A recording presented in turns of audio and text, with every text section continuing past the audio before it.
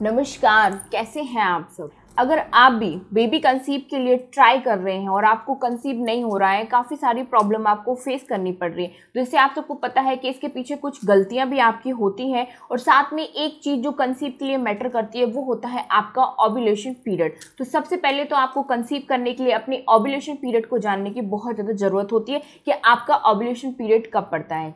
जैसे कि अगर आपका पीरियड साइकिल 28 डेज़ का है तो आपका जो ऑब्लिशन पीरियड पड़ेगा वो आफ्टर 14 डेज़ के बाद पड़ेगा। मतलब 14 डेज़ के बाद कभी भी आपका ऑब्लिशन पीरियड स्टार्ट हो सकता है। सेकेंड चीज़, अगर आपका पीरियड साइकिल 30 डेज़ का है तो आपका जो ऑब्लिशन पीरियड होगा वो आफ्टर 15 डेज़ पीरियड के कभी भी हो सकता है। अब इसके सिम्टम क्या होते हैं? अगर आपको स्टिकी, थिकी सा डिस्चार्ज होने लगे, इस तरीके से तार जैसा बनता है, पीरियड के आफ्टर 10 डेज़ 12 डेज़ 14 डेज़ तो इसका मतलब होता है कि आपका ऑब्लेशन पीरियड स्टार्ट हो गया है। अब आपने ऑब्लेशन पीरियड जान लिया कि आपको उसी टाइम पे इंटीमेट होना है मतलब कि रिलेशन बनाना है बेबी कंसीव करने के लिए, ठीक है? अब इसके बाद एक और चीज़ मैटर करती है। आप जब कंसीव के लिए मतलब बेबी कंसीव के लिए रिलेशन में आती हैं तो आपको तुरंत यूरिन पास करने नहीं जाना चाहिए। इससे फिर कंसीव करने में प्रॉब्लम आती है। अब जैसे कि आप रिलेशन बनाने के बाद अपने इंटीमेट एरिया को वॉश नहीं करेंगी क्लीन नहीं करेंगी तो फिर क्या होगा? आपको लॉट्स ऑफ़ प्रॉब्लम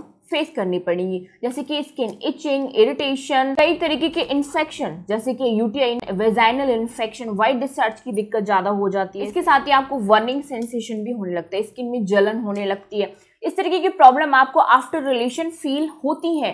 जब आप अपने इंटीमेट एरिया को क्लीन नहीं करते हैं। और जब आपको इतनी सारी प्रॉब्लम होंगी तो फिर कंसीव करने में तो प्रॉब्लम आएँगी ही आएँगी। अगर आप सीरियसली बेबी कंसीव करना चाहती हैं प्रेग्नेंट होना चाहती हैं after relation without moving toilet मतलब बिना टॉयलेट जाए हुए आप अपने इंटीमेट एरिया को क्लीन रखना चाहती है हाइजीन मेंटेन करना चाहती हैं तो आपको यूज़ करना चाहिए इंटीमेट हाइजीन बाइब्स सो आज मैं आपको पर्सनली रिकमेंड कर रही हूँ एवर्टीन के इंटीमेट हाइजीन बाइब्स ये 100% नेचुरल एक्टिव से बने हुए हैं। साथ ही इसमें goodness of aloe vera and lycopene for sensitive skin ये आपकी स्किन पर बहुत ही जेंटल इसका जो क्लॉथ है वो बायोग्रेडेबल है। ठीक है? इसके साथ ही ये completely alcohol S L S and parabens free है। इसकी जो स्पेशल बात है वो ये है, इसके हर एक पैक को इंडिविजुअली रैप किया गया है। सो so, आप कहीं भी बाहर जा रही हैं ट्रैवल के लिए जा रही हैं तो आप इनके एक दो पाउज अपने पर्स में कैरी कर सकते हैं।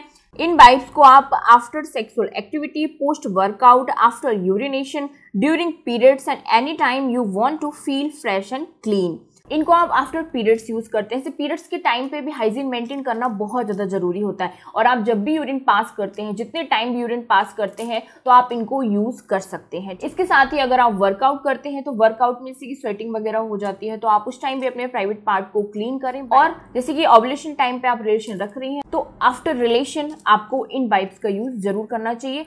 सो फ्रेंड्स आई होप आपको ये प्रोडक्ट अच्छा लगा होगा और आप अपने इसको रूटीन में ज़रूर रखेंगे। अगर आप भी बेबी कंसीव के लिए ट्राई कर रही हैं तो तो आप इसको परचेज करना चाहते हो डेफिनेटली आपको परचेज करना चाहिए। मेरी पर्सनल रिकमेंडेशन है। ये आपको अमेजोन फ्लिपकार्ट नायका की वेबसाइट पर मिल जाएगा और एवरटीन की वेबसाइट पर भी आपको अवेलेबल हो जाएगा।